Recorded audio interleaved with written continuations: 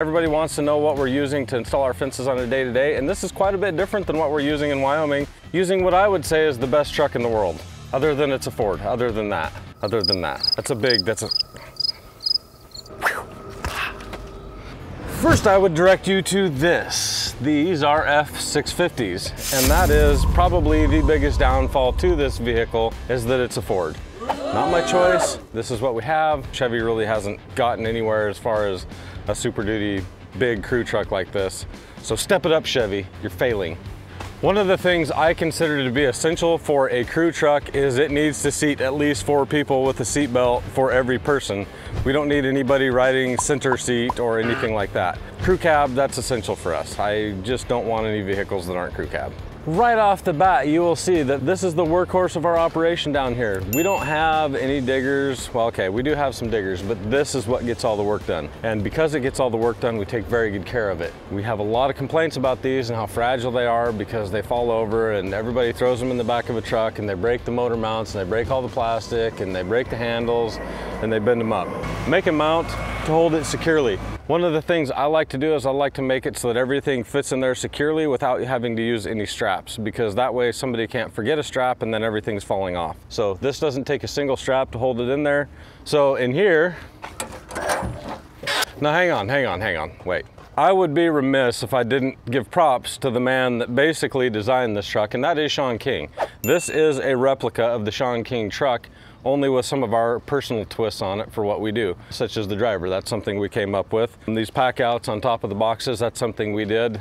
But this design is 100% Shawn King's, and he calls him the Super Fencer, or the Super Truck, or I don't know, something like that. So in this bin, what we have is we have tool drawers. And this houses all of our wrenches and everything that we could possibly need, all of our small hand tools. We have gloves, we have a laser level, zip ties in that drawer. In this one we have squares, punches, files, here we have rail notchers for both aluminum and vinyl, pipe wrenches, bolt cutters, PVC cutters, earplugs, tire pressure gauge. Here we have nails. I don't know why nails are in here, but they're in here. We have levels, digital levels with angle readout.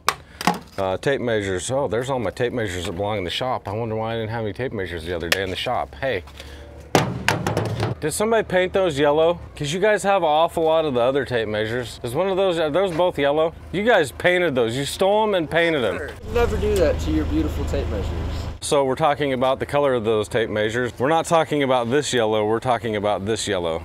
As you'll recall, these are faux pas tape measures. So it's never your fault with a faux pas tape measure because the measurements on here are completely random. You may or may not get it right, and that's, that's the design of the tape measure is to take the blame off of you, the operator. Never your fault with faux pas. Anyhow, we have all these and they're painted yellow, and that means that if it's yellow, it belongs on this truck. We have another truck. Oh, speaking of which, we didn't even introduce you properly. Hang on, come here, come here. This truck is Shake and Bake, right there. The other truck that we have is Mungus Chungus. That's named after my dog that was a little fat and we called her Mungus Chungus and we thought it was funny, so that's the name of that truck, is because it's kind of big, Mungus Chungus. Anyhow, I digress. So if it's yellow, it belongs on this truck. Now I suspect that those guys stole tape measures from the shop and painted them yellow so that they could have 12 tape measures on their truck. Uh, this drawer we have hammers. This is a wrench for the tires, pry bars, some cat's paws, stuff like that. This drawer here, we have screwdrivers, cutters, pliers, hog ring pliers, Allen wrenches, everything there. Next drawer down, we have sockets. We even have the old-fashioned set of fence pliers. Why? Because you can't have a fence truck without these. Have they ever been used? No, no they haven't. But if we ever need them, boom, they're right there. We have sockets, we try to think of everything. These are sockets to take their lug nuts off, and then the other socket is a socket to fix the track on Mini-Me if it happens to fall off, which Mini-Me is the small MT-85, which we have had problems with. Here we have all of our cutting devices. We have knives, blades. Uh, oh, here's something that I bet a lot of you guys don't have. That's a water key. So if you're working at a school or some industrial building where they have taken all the knobs off, this is a water key that fits every single faucet out there. So put one of those on your truck. In this drawer, we have crescent wrenches, more channel locks, and we always use gear wrenches. I'm a huge fan of gear wrenches. I don't think that's actually a gear wrench. We bought the cheap Harbor Freight version of that, so we'll see how long they last. This is a flat tire. Why am I carrying this flat tire around? Could you, could you take my flat tire? Thank you. How you doing, Brian? I like that hat. Hey, do you know you have nails in like three different spots in this truck? Dude, I can't get the Yeah. down there, so I put them there. Yeah, I I like to have small, small, small, like loaded up. These are the nails that we use in our Jip Fast G2. These are what shoot our pickets straight onto our metal frame gates. And then the longer ones, these longer two and a half are when we use our horizontal fences. They have thicker boards and so we need the longer nails to go into the thicker boards and still make it into the steel. And if you shoot these things on here, they're not coming off. They are impossible to remove. They're textured and once they go in, they're, they're stuck. This is what we like to call the layout bin. So this is gonna have all of our stuff for laying out a fence. Mr. Fence template kit, so if we need to route something in the field, we've got bandsaw blades, we have a four foot level, our equalizers, tape measures, wasp spray, paint, clamps for our template kit. We've got 500 feet of heavy duty string. So if we do need string on projects, we have that string. That's the only string I like to use. It doesn't break, it's easy to roll up. This string is terrible. This string is so much better. We can pull on it and never break it. It's very tough to break. How many times have you been out there digging a hole on a fence line and your diggers hit the string just a little bit and then poof, there goes your string. That won't happen with this stuff. Then we have the pack outs and we added this because we saw that there was space here and we're like, well, we're gonna fill that space because why not? Both these pack outs together have all the fasteners that we could possibly use on a fence because the last thing we want to do is get to a job and find out that we're short screws. When we pack all these guys jobs, they get screws every time, but these screws are only there in case they need more. They should have all the screws they need, but if they don't, they've got spares. This is the trash bin. So they keep some stuff in here, water jug, bucket, but if they have trash, they can throw the trash in here. This is kind of a catch-all where all of the longer tools go. We've got the thumper from Mr. Fence, we've got diggers, we've got brooms, shovels, hand post pounder. It's, it's a hodgepodge, there's a lot of stuff in here. This is typically where on Shawn's trucks you would see a little beaver. However, if you know anything about us, you know that we don't dig, so that was not extremely useful to us. What we're gonna do is we're gonna put a door here that folds down this way, so it'll fold down and lay flat if we need to put a little beaver in here, but then when we're not using it for a little beaver, it'll fold up here and block everything in so we can stop tying things, and it just gives us another possum belly to dump longer things in if we need to without having to strap it down. Right up here, you'll see that we have our, what the heck did we call that thing? Where's your other one? There's only one in there. there. Is there only one? How come you only have one straightaway? Not you. Dang it. This is where we keep our straight topper. Where's your other straight topper? Did you ever get yours back from Clay? You better get another one put in there. Ooh, that was dangerous. As mentioned before, one of the things we try to do is design everything so that it can be put in there without any straps and be locked in. That is how that goes. It has its own little slot, it can't come out. This is our post puller. If we drive a post a little too deep or if we need to go and remove some posts on a project, we can easily do that with our post puller and we use these quite a bit. These are available along with the straight toppers they are available at swifence.com and they go on every truck. These were recommended to us by Shawn King. These are tent stakes, so they cost about 25 bucks a piece. We use these tent stakes instead of form stakes for concrete because they don't have the holes in them that cut up our strings and our equalizers. So and they have this nice head on them, which is nicer to hit. And they're a lot more expensive, but they're better. You just have to make sure you guys pick them up off a job. This is something we did different. This is one of those places where we have to use a strap. Why do we have to use a strap? Because we didn't realize there was nothing back here and we lost a ladder off the backside one day. We are going to weld something back here so that those can't come off. And as soon as we do that, we will no longer need to use a bungee cord right here. But this is where we keep all of our short step stools. We carry two on each truck. This bin is our strapping bin. We have chains, anchor chains for pulling posts. We have a little hand pump for sucking water out of holes. This is a strap winder. Straps, power thing. They carry some saran wrap or shrink wrap on, not saran wrap, that's kitchen stuff. Extension cord, garden hose, 20 foot log chain. We could use these for edge protectors so we don't cut our straps or to protect the edge of vinyl pickets and stuff that are a little bit softer and easier to bend. This is our chain link bin. So we have we have our top rail dresser, boundary strainers, a couple pole jacks in here, extra screws, nails for wood fence. We have a blower, nail guns, nails for our donuts right down here for nailing donuts to vinyl fence. Truss rod bender, pipe tightener, that's a socket set. Hammer drill right here. This is a nail gun, DeWalt concrete nailer for nailing the donuts to the steel posts. We have more pack out so we can have the thin ones. So these are all just different bits, nut drivers. This is all their bits for their impacts and drills and stuff. So sockets, ratchets, So we put them all in these pack outs because when I tell a crew to go get my bit set, it should have everything that we need to basically do an entire fence. That's how we organize all that stuff. Now, something I saw on TikTok the other day that I'd like to implement is there was a gal and she was pretty popular on the job site because she had the Milwaukee snack out packed with like goldfish and stuff like that. And I think maybe we need to probably put some more space on this truck somewhere and, and definitely go with the Milwaukee snack out. As handy as the pack out is, the snack out, now there's an idea. This, this is the money bin. Battery chainsaw, battery operated pressure washer, table saw. This table saw, I love this table saw. Why does it work so good for us and it doesn't have a cord?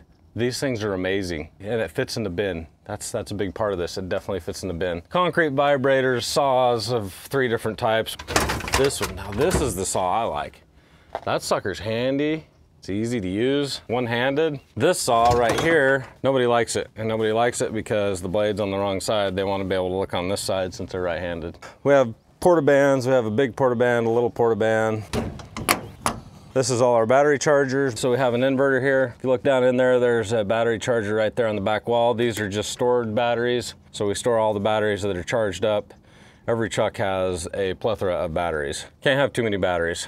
And that's how we keep everything charged. So as they're driving down the road, they can turn that inverter on. Very critical to make sure that you turn that off because you will eat up your battery very quickly. But I have an app on my phone that tells me when the battery's low and then I call Brian and I say, hey, your truck's telling me its battery's low. So this is our Ramset JipFast G2. This is what we shoot the nails on with. Gas charged, takes these nails. These aren't cheap. The consumables are tough to get. I'm trying to find a reliable place to get those and hopefully soon we will have that. This is the power supply for these reels. We are not using these reels currently. A lot of people put their air hoses on these.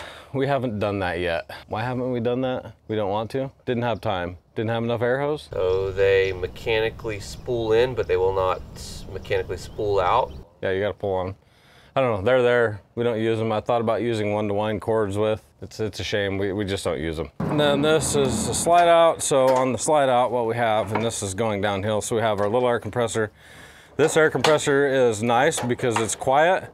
However, it's a piece of crap. What we want is we want oil. They make oil compressors and they work a lot better in the heat. These things overheat terribly in the summertime. So before summer, we're gonna have to come up with a different solution that's hopefully quiet and trade these out. But I love these because they're quiet and they work good in the winter and when it's cool. Then we have these 3800 watt generators that we put on every truck because I want power no matter where we're at. Oh, and we have a welder back here too. What welder do we use? We use the cheapest Harbor Freight welder they make.